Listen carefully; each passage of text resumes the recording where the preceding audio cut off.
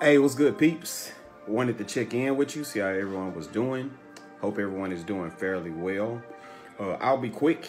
Um, missing you guys, miss seeing you guys' faces, um, celebrating what God is doing in your lives. I know right now school is uh, at a standstill and has been tabled, uh, but do not give up. Hold your hope. Great things are coming. Um, I trust and believe that you guys have been doing your own uh, private family worship and family study through the scriptures, uh, praying with one another, uh, fellowshipping, talking to God, uh, seeing what God has to say, not just waiting uh, till we do our virtual worship on Sundays or Wednesdays, because I know that you guys love the Lord with all your heart. So you are spending time uh, in the Word of God. for the last couple weeks, since we have been uh, confined to virtual worship with the 10 people, if you will. Um, we have been focusing more or less on adults. So um, for the next several weeks or until um, this pandemic has come to its expiration, um, I will come from time to time, maybe once or twice a week, just to encourage our children and our youth and uh, see what the Lord has to say at the beginning of this year, we started, or I started, if you will, and challenged them to write down some hot topics uh, in regards to what's going on in their lives. Make them anonymous.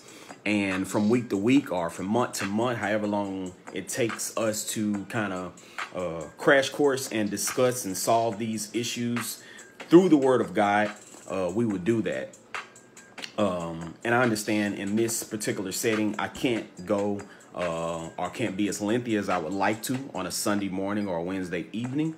Um, so I'm going to give you about six or seven minutes from a question, an anonymous question or anonymous hot topic that was asked by one of our teenagers. And that question is, what does God want from me? Um, I thought that was a very good question because uh, we know that God has done a lot of stuff for us. And in our context, whenever people do something for us, to the degree that God has done for us, um, we always think that God wants something in return. So I thought that was a good question, and I'll attempt to answer that today. What what does God want from me? What does God want me to do? That's a good question because the Bible, the Bible, the Bible, the Bible gives us the reality of what God uh, wants you and I to do, and that is to love Him and that is with everything that we got. That's that's simply it. I mean, a total type of love, not that kind of love where it's like, yo, I love you as long as you can give me something, or as Marvin Gaye said, uh, loving somebody as long as somebody loves you back. No, not that type of love. Or loving somebody when somebody uh, loves you back, or when the the love is is is is there. If it's one sided, not that type of love either. Or if it's a benefit to you, not that type of love either. Uh, that's not the kind of love that God wants us to have. It's the kind of love that God unpacks in Deuteronomy chapter 6, verse 5, where he tells the nation of Israel, Yo, I want you to love me with all your heart, with all your mind, with all your soul, with all your being. I want it all. I want you to love me with every ounce of energy that you have. So if God wants us to love him with all that we've got, the question is, man, how do we do that? And the answer is very simple. We obey his commands. The beautiful truths that we find in scripture that God pulls us up on game about is that he wants from us what he desires us to do, how he wants all of our being. Man, it's found in his word. We've got to go back to the scriptures to read the scriptures to see this is what God wants me to do. This is what he asks of me. This is the thing that he's telling me to do so that he can get the glory and so that he can work those things out for good in my life. Listen, I love my wife, my my my sweet Tanisha Delight. I'm sure at some point she's gonna see this, right? We've been together for many, many years, been married nine years, just celebrated this month, even during the COVID 19. We have a, a beautiful family, we have a beautiful home, we have a beautiful daughter. We've built a beautiful life together man, it would crush my heart if I found out that my wife had opened up her heart to somebody else while we were still married. It would it would it would crush me. It would deflate me. You know, if some kind of way I found some emails or some text messages or some DMs from some other dude who she was trying to talk to, that would that would that would hurt me. It would break my heart. But thank God that's not the reality for me and my wife's relationship. That ain't something that I have to worry about. But my point is that you and I would be crushed if the person that we've totally loved didn't love us back, right? Perhaps you felt like that, maybe from a parent, maybe from a friend, maybe from a neighbor, maybe from a family member.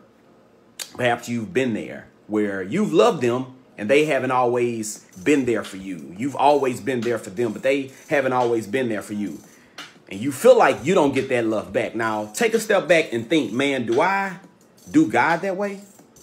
Maybe you have, but here's the good thing about God that not only did he give us the great commandment to love him with all we have, but he also gave us what I like to call the great commitment. And what's crazy about the great commitment is that there's a responsibility on our end, but there's also a reward.